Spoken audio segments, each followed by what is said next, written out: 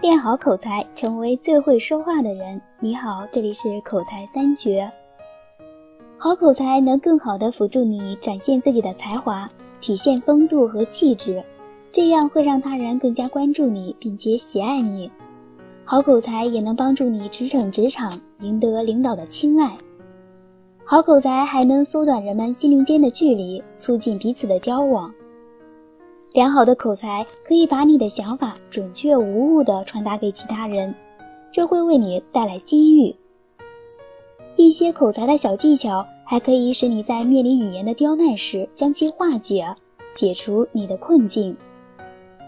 或许你认为成功的人不一定都具备良好的口才，但拥有好的口才绝对有益于成功。良好的口才是成功的催化剂。它能够提高成功的可能性，并且在关键时刻发挥至关重要的作用。在所有的口才技巧中，最受欢迎的莫过于赞美话。人人都喜欢被赞美，无论是大人还是孩子，被他人夸奖和赞赏总能令人心情愉悦，信心倍增。这就是赞美的力量。说赞美话看似容易，但我们在生活中也听过不少来自别人的赞美而不以为然。其实，说好赞美话是要讲究一些艺术和方法的。赞美话说的过多、过烂、毫无特色或者人云亦云，都不能够引起别人足够的兴趣，甚至会引来反感和不快。如何用一句不同凡响的赞美来赢得别人的芳心？这其中的奥妙是趣味无穷的。可以说，想在瞬间获得他人的好感和喜欢，想用最简单的方法提升语言水平，想在社交场合中成为最受欢迎的人，只需一句幽默足矣。而如何让自己出口即幽默，在给别人带来快乐的同时，增加自己的社交魅力呢？这就需要幽默的技巧。赞美话和幽默话给人带来喜悦和快乐，与之相比，拒绝话看似不受欢迎，但是与人交往、说话办事，处处都离不了拒绝话。生活中最常用的拒绝话就是一个字：不。不这个字听上去很简单，说出口的话却不容易。为什么说“不”这个字那么难呢？为什么我们都害怕拒绝别人，也害怕被拒绝呢？“不”这个字如何说出口才不会让别人受伤害，而且还不让自己纠结呢？看来，一个“不”字关乎人际沟通过程中的成败，影响着你与朋友间关系的亲疏。说好“不”这个字不容易。但也有方法可循。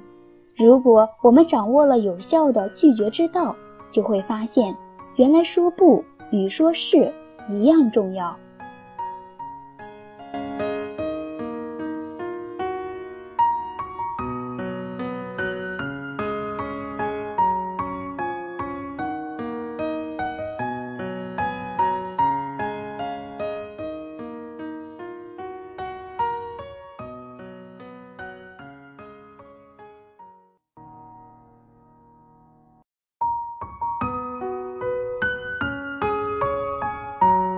练好口才，成为最会说话的人。你好，这里是口才三绝。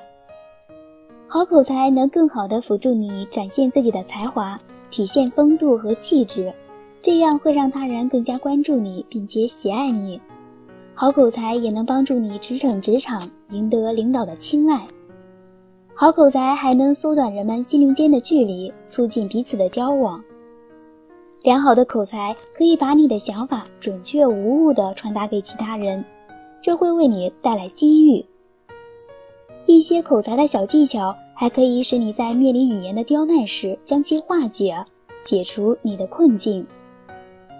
或许你认为成功的人不一定都具备良好的口才，但拥有好的口才绝对有益于成功。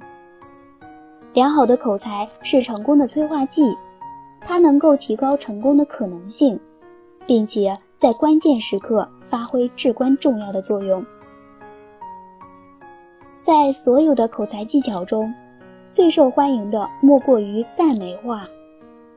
人人都喜欢被赞美，无论是大人还是孩子，被他人夸奖和赞赏，总能令人心情愉悦，信心倍增。这就是赞美的力量。说赞美话看似容易，但我们在生活中也听过不少来自别人的赞美而不以为然。其实，说好赞美话是要讲究一些艺术和方法的。赞美话说的过多、过烂，毫无特色，或者人云亦云，都不能够引起别人足够的兴趣，甚至会引来反感和不快。如何用一句不同凡响的赞美来赢得别人的芳心？这其中的奥妙是趣味无穷的。可以说，想在瞬间获得他人的好感和喜欢，想用最简单的方法提升语言水平，想在社交场合中成为最受欢迎的人，只需一句幽默足矣。而如何让自己出口即幽默，在给别人带来快乐的同时，增加自己的社交魅力呢？这就需要幽默的技巧。赞美话和幽默话给人带来喜悦和快乐，与之相比，拒绝话看似不受欢迎。但是与人交往、说话办事，处处都离不了拒绝话。生活中最常用的拒绝话就是一个字：不。不这个字听上去很简单，说出口的话却不容易。为什么说“不”这个字那么难呢？为什么我们都害怕拒绝别人，也害怕被拒绝呢？“不”这个字如何说出口才不会让别人受伤害，而且还不让自己纠结呢？看来，一个“不”字关乎人际沟通过程中的成败，影响着你与朋友间关系的亲疏。说好“不”这个字不容易。但也有方法可循。如果我们掌握了有效的拒绝之道，就会发现，原来说不与说是一样重要。